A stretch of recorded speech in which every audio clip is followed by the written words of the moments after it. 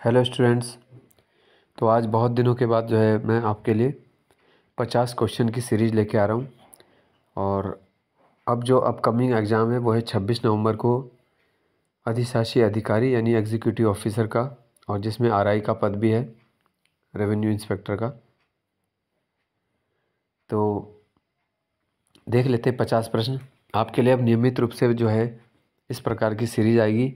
इसके अलावा जल्द ही जो है बोर्ड पे भी आपको पढ़ाया जाएगा। उसके लिए सेटअप लगभग एक हफ़्ते में तैयार होगा। ठीक है? तो फ़िलहाल मैं आपके लिए ये स्क्रीन रिकॉर्ड वाले ही वीडियो लेके आऊँगा। ठीक है? तो क्वेश्चन आपको अगर सही लगे या इसमें आप अपना सुझाव भी दे सकते हो और इन क्वेश्चंस को आप शेयर भी कर सकते हो। तो देख लेते हैं। सबसे पहला क्वेश्चन है, मातंग ऋषि की गुफा कहाँ है? तो ये सॉल्व क्वेश्चन है।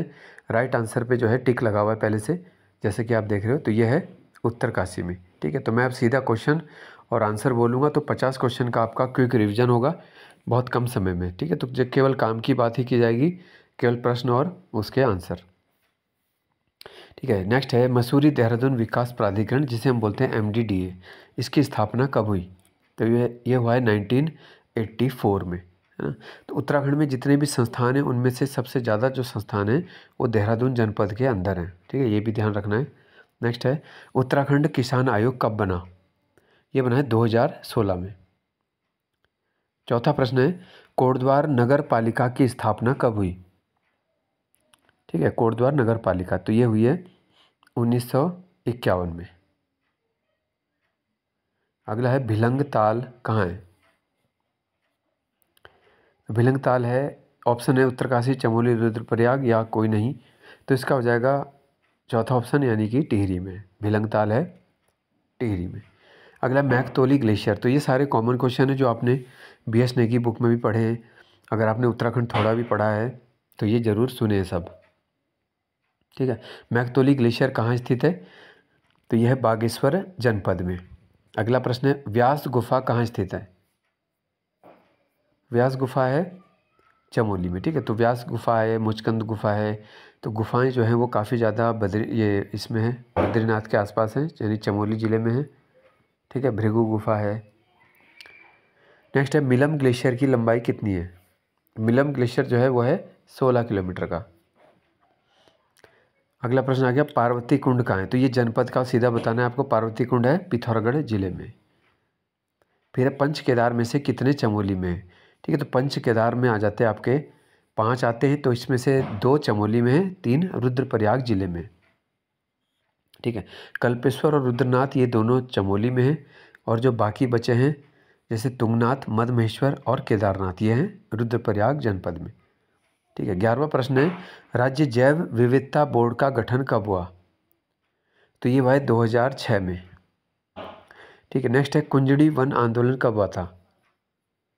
कुंजड़ी वन आंदोलन जो हुआ है, वो सौ चार। फिर आईआईएम की स्थापना कब हुई है काशीपुर में? तो उत्तराखंड में एक ही जो है भारतीय प्रबंधन संस्थान है, जिसे हम बोलते हैं इंडियन इंस्टीट्यूट ऑफ़ मैनेजमेंट। तो ये कब बना है? 2011 में। नेक्स्ट है, टोन्स किसकी सहायक नदी है? ठीक है तो ये हो जाएगा यमुना की सहायक। फिर पंतनगर विश्वविद्यालय के पहले कुलपति कौन थे? ये थे डॉक्टर एंथोनी पार्कर। ठीक है, पंतनगर जो कृषि विश्वविद्यालय, ये 1960 में बना है और इसको श्रेय दिया जाता है, जो हरित क्रांति है, माना जाता है कि हरित क्रांति में इस विश्वविद्यालय का बहुत योगदान रहा। नेक्स्ट है, भारतीय प्रौद्योगिकी संस्थान यानी कि आईआईटी रुड़की, किस क्रम का ये आईआईटी बना था? तो ये बना था 2001 में सातवां आईआईटी भारत का। अगला है एमकेपी की स्थापना। तो इसका प्रश्न पिछले वीडियो परीक्षा में भी आया था, जो पेपर कैंसिल हुए थे, कि स्थापना किसने की? तो वो महादेवी भटनागर ने की थी 1902 में। इंद्रमणि बडोनी का जन्म कब हुआ? ये भाई 24 दिसंबर 1924 को। 1870 में डिबेटिंग क्लब की स्थापना किसकी अध्यक्षता में हुई है? ठीक है तो अध्यक्षता भी याद रखनी है, ये भीम सिंह की अध्यक्षता में डिबेटिंग क्लब अल्मोड़ा का बना था। बीसवा प्रश्न है, नैनीताल को हिल स्टेशन का दर्जा कब दिया गया? तो नैनीताल जो है एक प्रसिद्ध हिल स्टेशन है उत्तराखंड में और यह है 1996 में। नेक्स्ट क्वेश्चन आ गया, चंपावत में कितनी विधानसभा क्षेत्र हैं? तो दो विधानसभा क्षेत्र हैं चंपावत जनपद में। फिर है, शारदा नहर कब बनी थी? यह उन्नीस बहुत सारे ऐसे क्वेश्चन हैं जिनके आंसर आपके डायरेक्ट ईयर के फॉर्म में आपको याद रखना है। तो जितने ज़्यादा आप ऐसे ईयर याद करोगे उतना क्वेश्चन आपका बनेगा तो ये मान के चलो कि बीस से पच्चीस या तीस तक भी मैक्सिमम क्वेश्चन इस टाइप के आ सकते हैं, जिसमें आपको ईयर या आंकड़े उसमें आपको याद रखने हैं। नेक्स्ट है, आदित्य देव साठी का मेला कहाँ लगता है? तो ये लगता है पार्टी नामक स्थान पर, चंपावत में पार्टी, ठीक है? आदित्य देव साठी नेक्स्ट है, मायावती आश्रम कब बना? ये भी चंपावत में अट्ठारह सौ निन्यानवे में, ठीक है? उन्नीस मार्च अट्ठारह सौ निन्यानवे। फिर है कोटमाई मेला, यह है बागेश्वर में। हिल यात्रा उत्सव किसकी देन माना जाता है? यह नेपाल की देन और ये परीक्षा में आ चुका है। ठीक है, फिर है गैर धार बुग्याल, यह मुंशियारी पिथौरागढ़। एरीज जो संस्थान है, इसको स्वायत्त संस्थान यानी ऑटोनोमस बॉडी कब बनाया गया? एरीज को बनाया गया था 2004 में। अगला आ गया शीतला माता का मंदिर कहाँ है? शीतला माता का मंदिर कहाँ है? यह है रानी बाग में। ठीक है, फिर है नैनीताल में कितनी विधानसभा है? तो यहाँ पे छः विधानसभा। फिर मेजर शैतान सिंह का संबंध किससे है? ठीक है तो भारत चीन युद्ध के समय इनको परमवीर चक्र प्रदान किया गया था। ये थे तेरहवीं कुमाऊँ रेजिमेंट की तेरहवीं बटालियन से। फिर सोमनाथ शर्मा का संबंध। तो ये थे फोर्थ कुमाऊँ से। ठीक है तो चौथी बटालियन कुमाऊँ रेजिमेंट की जो है, और पूरे भारत में इनको पहला परमवीर चक्र प्रदान किया गया था। ठीक है, इन्होंने जो है श्रीनगर हवाई अड्डे की रक्षा की थी। तो उसके लिए इनको मिला था परमवीर चक्र। फिर है बानड़ी मंदिर कहाँ है उत्तराखंड में?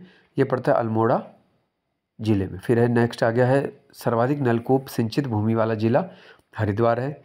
फिर लंडौर के अंतिम राजा की मृत्यु के बाद रुड़की किसके अधीन कर दिया गया? तो ये थे रामदयाल ठीक है रामदयाल के अधीन कर दिया गया था। चोखम दून का है? पौड़ी जनपद में। खराड़ी वाटरफॉल यह है उत्तरकाशी। सुमेरु पर्वत की ऊंचाई क्या है?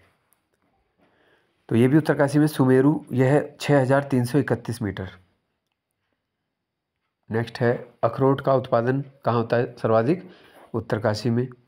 उत्तराखंड का ग्राम्य विकास संस्थान कहाँ है? यह है रुद्रपुर, ठीक है? तो ग्राम्य विकास संस्थान ये हो गया है रुद्रपुर, याद रखना है।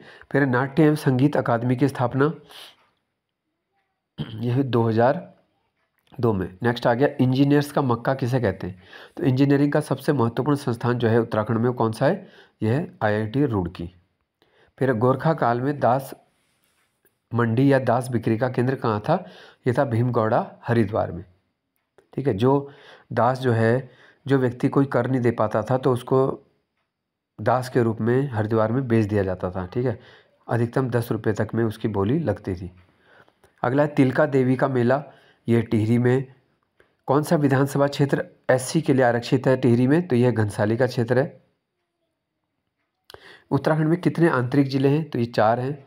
बागेश्वर, टिहरी, अल्मोड़ा, रुद्रप्रयाग। तो इसका ट्रिक है, बाटी, अरू से याद रखना है। चार ऐसे जनपद हैं जो ना किसी अन्य राज्य या अन्य देश की सीमा से लगते हैं। तो इन्हें बोलते हैं आंतरिक ज़िले। नेक्स्ट आ गया ताराकुंड। यह है पौड़ी में। तारा पहाड़, पिथौरागढ़ और तारा ताल अल्मोड़ा। तो तीनों याद रखने, देखो, ताराकुंड है पौड़ी, तारा पहाड़, पिथौरागढ़, तारा ताल, अल्मोड़ा। और तारा ताल को ही कहते हैं तड़ाक ताल। ठीक है तो ये हो गया। नेक्स्ट है, कमलगाड़ किसकी सहायक नदी है?